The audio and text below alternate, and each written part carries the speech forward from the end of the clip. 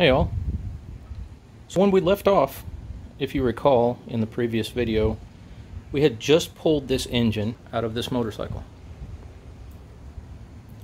So now we're going to tear this engine apart so we can see why. If you recall, the issue was that there was coolant leaking into the oil. So what we need to do now is get all of these pieces off. And I think I'm going to start with the hoses. So there's a couple of hoses that go around here and this thermostat housing. We're going to get all of these hoses off. We'll get them labeled and, uh, and put where they need to be so I don't lose track of them. I'm going to get you set up and we'll go through that. I know I said previously that we were going to take these hoses off first, but because I have it on this dolly, it was sitting a little bit funky because of this downspout here in the oil cooler. And I don't really want to accidentally break this off. So what we're going to do first is we're going to take this oil cooler off, which includes this hose that goes around to the oil pump. So I'll get you set up and I'll show you how to do that. I've just got, even though the oil's drained, I do believe there's going to be a little bit of oil dripping out of this uh, oil filter. So I've just got, you know, an already oily shirt down here. I don't expect it to be a gushing spout of oil or anything. And I've already loosened this, so we're just going to take this off, this oil filter. And I think we'll go ahead and set this aside if it looks good enough. Now we're going to take the actual oil cooler off. So we've got the filter off. And this oil cooler is held on by this kind of through bolt here. And this happens to be a 30 millimeter. So I'm going to go ahead and get that on there. I'll try to get this thing off. And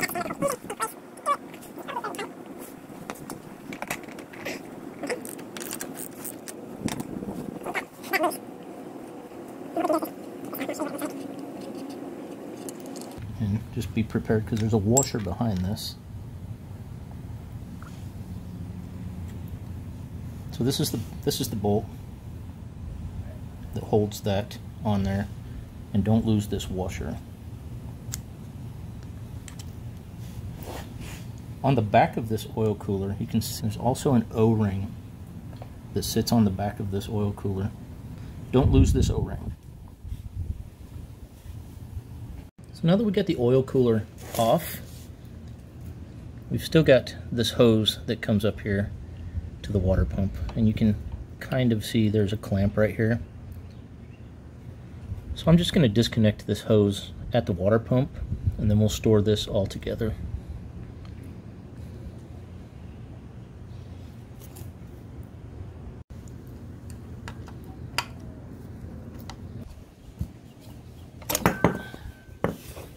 So that clamp is a little bit bent. It'll be replaced, but uh, so here's the oil cooler with the hose connected. And I'm going to get this cleaned off before I store it with anything else in the bag. And uh, we'll get to taking the rest of the hoses off. You can see the engine's kind of sitting on this kickstand. You know, and it's kind of, it's not sitting very level here. Um, it's pretty much all the pressure is on this kickstand and on this switch. So what I want to do is I'm just going to go ahead, I'm going to leave the kickstand connected here. But I'm going to take out this bolt and this bolt. And these just happen to be two through bolts. You can see on the other side here. This one goes through and the other one goes through from here down to here. And then both of these engine mount pieces will come off along with the kickstand. I'm going to get you set up over here. So these two were a bit of an oddball. Take that off of there. I need to take this and this off, these through bolts. This one's a 14 on this side and the other side. This one is a 17 on this side and a 14 on the other side. So I've got the 14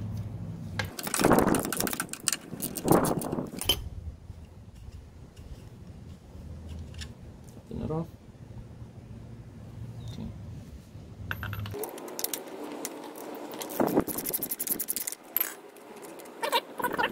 Here. I'm going to put that together, set it aside. Now let's see if we can get this other side off. So right here, just inside here between the frame, I think there is a a dowel pin. So I'm going to grab my little hammer and see if we can get that off of there. Still don't know where my rubber hammer is, but we'll use this handy nylon hammer.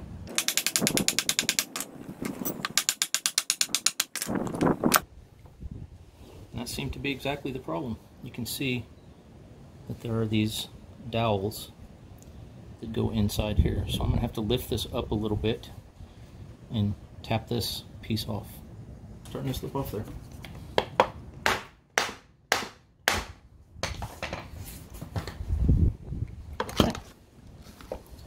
There we are. Kickstand, engine mount, off. There's a couple of things I can take off of here that are some uh, what I would call pretty low-hanging fruit. These two vacuum lines that don't really go to anything, they should just pull off like so. Okay. Got those off. I'll bag these up. I'll get them put in the bin with everything else. And I think what I'm going to do, my next plan is going to be this thermostat housing. You can kind of see it's held on by two bolts. There's one on this side and there's one on this side. And then it has this hose which is already disconnected. And then it has another you know slightly larger hose that goes down here to the water pump. So I think I'm going to take this water pump. No I'll disconnect these two hoses here and I'll take this off as one piece and then I'll take this this other cover off, you know, with the hose intact also. And while I'm here, I'm just going to go ahead, this is a coolant temperature sensor. I'm just going to go ahead and unplug this. It's just the same pinch and pull, and it has the the rubber gasket inside, so don't lose that. And we should be fairly close to getting all of these wires off of here. I'll leave these hanging for now and explain what they are. As we go, we'll clear this out so we have more room to see. And I'll get you set up and we'll get on those. I'm going to kind of go from here under the assumption that you guys don't really care to see me, you know, unscrewing hose clamps and stuff anymore. So I'll just tell you I'm going to do it, and then I'll do it off camera. In this case, I've got both of these hoses off that run up here. So we are free to go ahead and start taking these two housings off of the engine itself. Going to just take these bolts out. I'll get you set up and I'll show you. It's uh, not super exciting, but I do want to have you see it happen. These housing bolts, all of all four of them, there's two here and two here, they are all standard 10 millimeter. So I'm just going to make sure I'm going the right way here. And I'm just going to unscrew these real quick.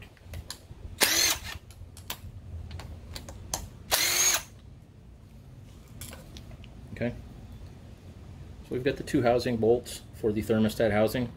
This might take a little tap to get it off there. In this case it doesn't.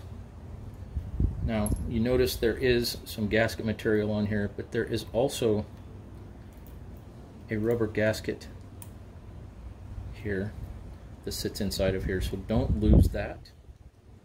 And we'll put all these back together. I'm sorry if you couldn't see that rubber gasket, it's right here.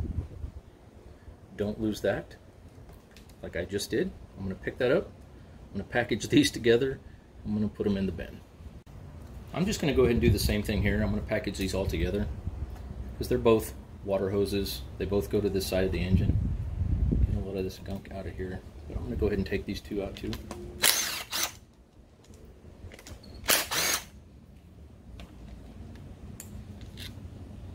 Just another two bolts.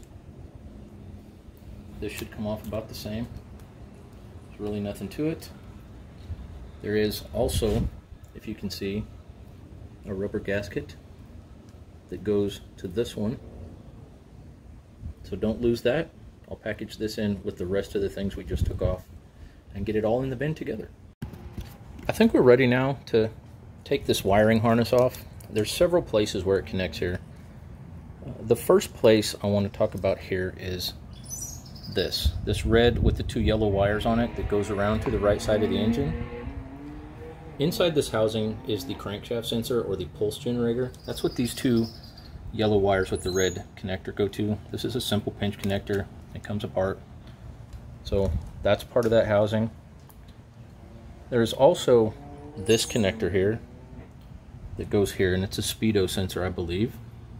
Speedometer sensor. Since it's connected to this wiring harness, I'm just going to go ahead and leave it connected. No reason to disconnect it because I'm going to be taking this out anyway.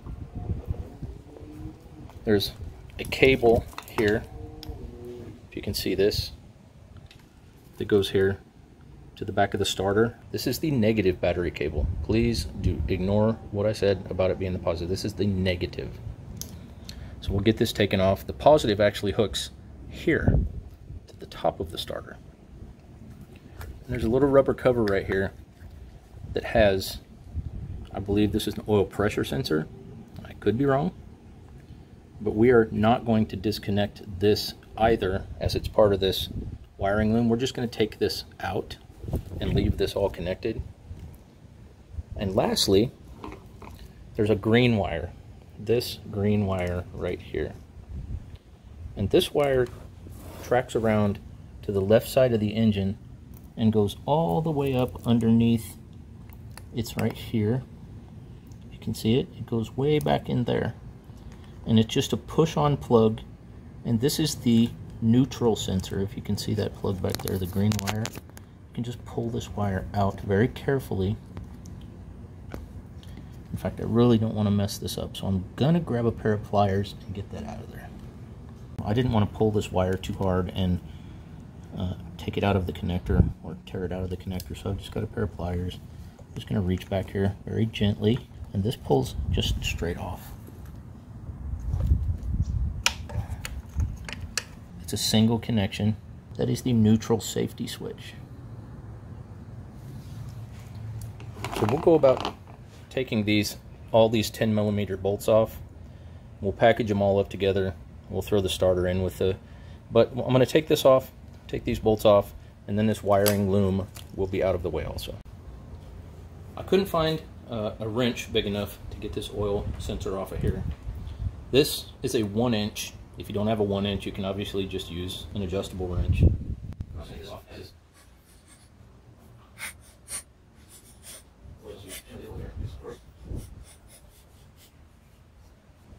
and that's the sensor out. Like I said, I'm just going to leave it attached to the loom.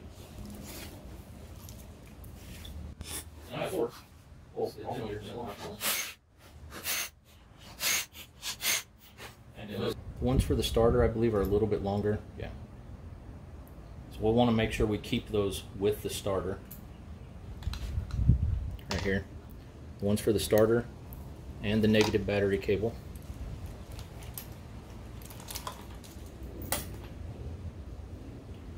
And then there are the ones that go to the Speedo. They're short, one short, actually, both of them are short. These go to the speedometer sensor. And this is the speedometer sensor. It's a Hall effect sensor. So there's a wheel that spins down there, and this is just kind of counting how many times that it's passing over this sensor. Now that we've got all the bolts off, this starter, there is an O-ring. There's two, the two bolts that hold the starter on, on the other end of the starter where it enters into the engine compartment. There's an O-ring in there. So when we pull this starter out, I want to make sure we capture that O-ring also.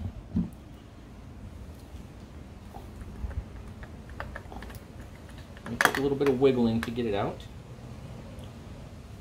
But there's the starter. I'm sorry, let me get that here, the starter. And you can see the O-ring.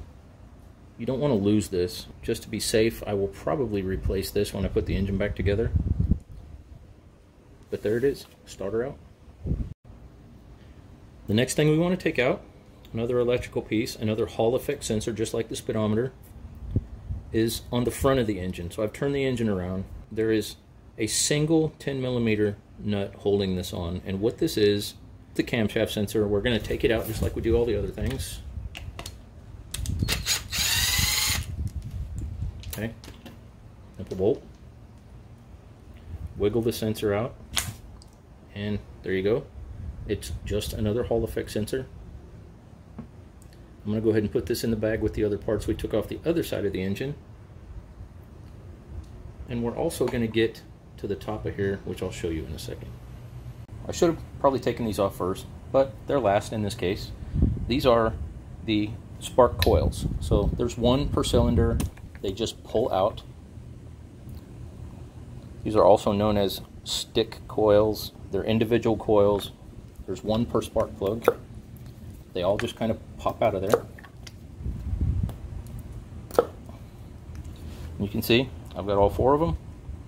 Just going to bag these up like everything else. I'm going to start taking these covers off. And this one is the one where the problem started, where we saw it happening. This is the right hand side engine cover and it's got this little polished cover inside the cover and what this is is a timing cover you can undo this and I don't need to undo it you don't have to undo it to take this cover off but I will take it off just so you can see what's under here and by the way this is a 17 millimeter and I'm going to get in there for a second. I'm going to show you what the timing wheel looks like. I'm going to try to get up there a little closer. If you look down here, that is the cam sensor or the pulse generator as they call it. And it is reading every time one of these teeth on this wheel passes over it. It's another Hall effect sensor, so it's just reading that passing. They don't touch, but that is what is connected to this wire right here. So at this point, we're ready just to take this cover off. And you'll be able to see uh, in here the clutch mechanism. This is the clutch cable where the clutch cable connects when you pull the clutch. And uh, I'll get you set up and we'll do that. It's all 10 millimeter bolts. I'm just going to loosen all these bolts. Back with the 8.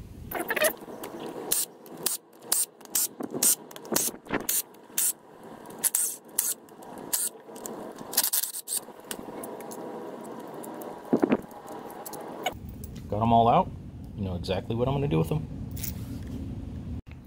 Since I only took this off so you could see what was going on inside there, I'm just going to go ahead and loosely put this back on just so I don't lose it. And if I had a rubber hammer, I would use it. Obviously I don't, so we're going to use this again.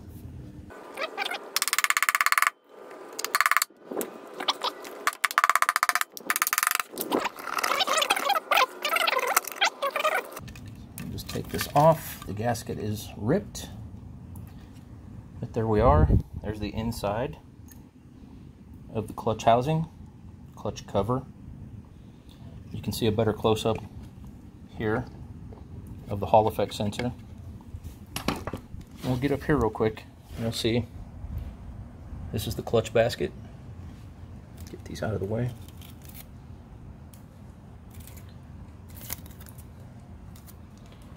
And this is the timing wheel. And you're going to want to pay special attention to this later when we're ready to do the timing on this. However, there is, if you look very closely, I don't know if I can focus in on that, there's a timing mark right here. So we'll be utilizing that. If you're going to do any work on the top of the engine, you need to make sure that this timing mark is set. And for that, you need this cover on. Uh, in this case, I'm tearing the whole engine apart, so I'm going to end up doing that when we put it back together, so I'm not concerned about it right now.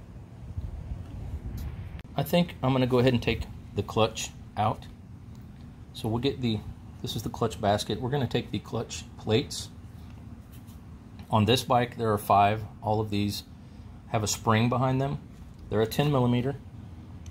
So I'm just going to get these off of here real quick.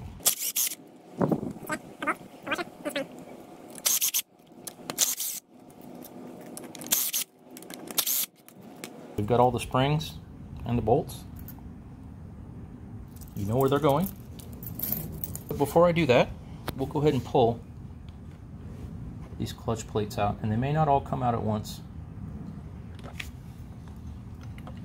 But we definitely want to keep these kind of in the order that they come in. And be aware that there's a bearing that sits in here. Don't lose that. It's loose. It's not pressed in. So it can fall out. And there is the pull rod or push rod, whichever way you want to look at it, that sits in this bearing. we want to keep those together. And you can see that I still have some clutch plates in here. And I'm going to go ahead and get a screwdriver and pull those out. This one, which was on the side of that, and you can actually see this is a little bit burned also. And that. So that's the last of the clutch plate set. Here's the entire clutch plate set. So I'm going to go ahead and package these together with the springs. And I'll go ahead and get a set of clutch plates and uh, pressure plates ordered. I've turned the engine around. We're going to take this cover off now. This is the cover that houses the stator and where the starter gears are. So we're going to get this off. This is also 8 millimeter.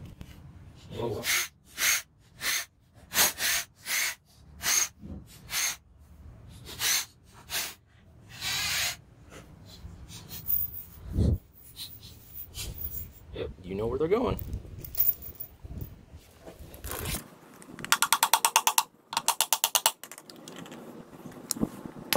pull it away from the magnet real quick. There we go. Here's the stator, and this is magnetized. When this spins around this, it creates electrical voltage to run the bike. So it's not running off your battery. This is charging your battery. This is running the spark. It's doing everything while the bike is running. Anyway, stator. This is the starting gear.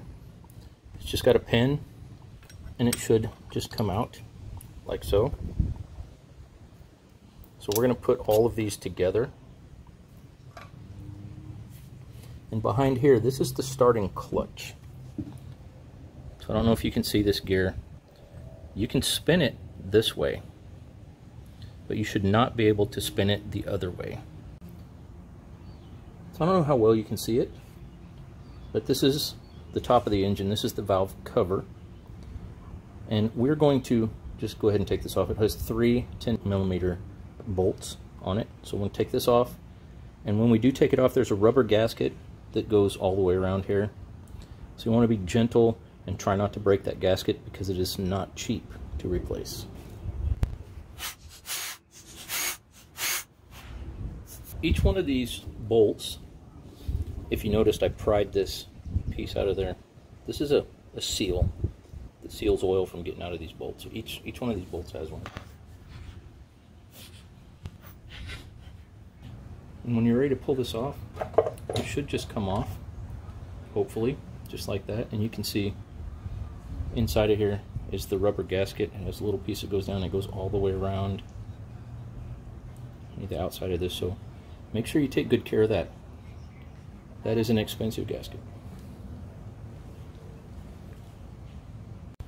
The next thing I'm going to take off this engine is this piece. Now this is this is an automatic chain tensioner that keeps the cam chain here tensioned uh, for, you know, a road bike, this is fine. If you were going to race this thing and you really know what you're doing, you could get a manual one that you tension the cam chain yourself. But for my purposes, this is good enough. This is a standard. This is the one it comes with. I'm going to just take this off. There's no need to take this uh, nut out right here. But these are a hex bit you can see that. And it is a number 5 hex bit. And they have brass washers, copper washers, whatever that is, for each one. So don't lose those. And then this piece just pulls out. I'm just going to package this thing. I'm going to put it away. So I've turned the engine around again. We're going to go ahead and pull the water pump off. These two bolts are holding the water pump halves together, but these two 8 millimeter bolts are holding the water pump to the engine. So we're just going to undo those. If you notice, they're different lengths. So keep track of which one goes where. The longer one went to the bottom, the shorter one went to the top. And we'll put those exactly where you know where they're going. And then this water pump just pulls out. And if you look on the back, there's a notched piece right here. And there's a notch on the crank or part of the crankshaft back there. Oh, by the way, don't lose this O-ring. Otherwise, you'll have an oil leak down there too. So I know this water pump is good. I don't need to take it apart. I'm going to go ahead and package this thing up with the two bolts. And we'll move on to something else. The next thing we're going to take off is the cam holder. There's several bolts. They're all 10 millimeter bolts, but you can see them. They're, there's a lot of them on here. And the thing we need to be careful about this is uh, we need to loosen these little by little. And you can see there's an order. If you look down here, this one has a 1, and then there's a 2. And then if you come over across in diagonal, three, four, five, six. I know you can all count, but I just want you to be aware that these are all numbered all the way up to 20, I believe. Yeah, there's 20 of these bolts. There's number 20 right here. We need, or maybe this one. We need to loosen these little by little because what will happen is this is just a piece of aluminum and it's holding these cams down and they're, they're under spring tension. If you look in here, there are lobes on the cams. I know most of you know how this works. But if the lobe is pointing down at the valve, there's going to be tension on here. So we need to loosen this in a way where it's not going to buckle or crack. So we'll do a little by little in order.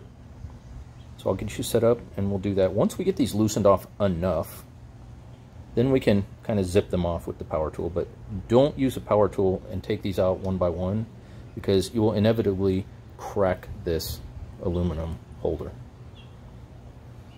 So I got my trusty 10 millimeter and you can see I found the runaway ratchet. So we're going to use that to undo these in order, little by little. I probably won't uh, film the entire thing, or if I do, I'll speed it up. We'll see what happens. So I've got number one here. We're gonna just loosen it up a little bit. And we'll go to two, loosen it a little bit, three.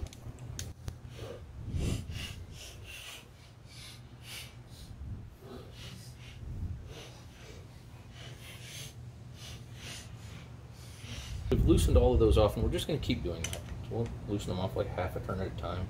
And some of these you might find are already pretty loose because they're not under tension.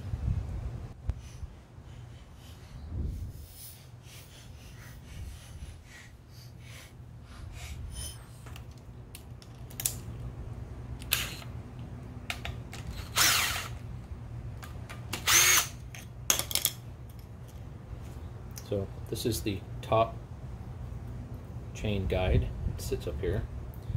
You keep the two bolts with it. And this is loose enough now that we're just going to go ahead and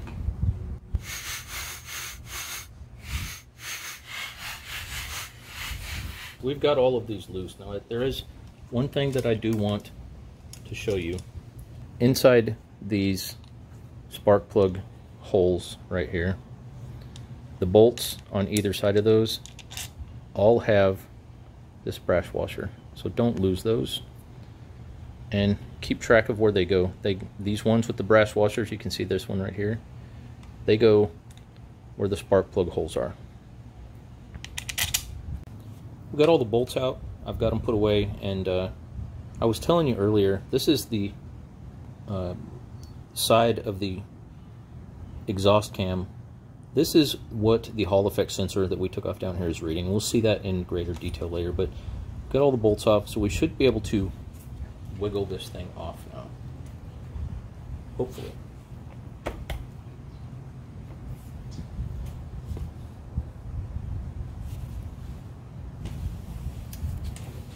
see if I can just uh, give it a little pry right here.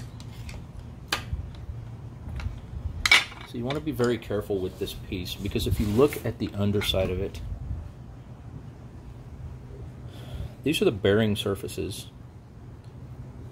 You can see these bearing surfaces, you don't want to scratch these, you don't want to mess these up because that is what your camshaft right here, these journals, they ride in these bearing surfaces and you don't want to have these scratched all. So I'm going to package this up too. And another thing to notice is that inside here, where the spark plug holes are, there are O-rings. So don't lose those.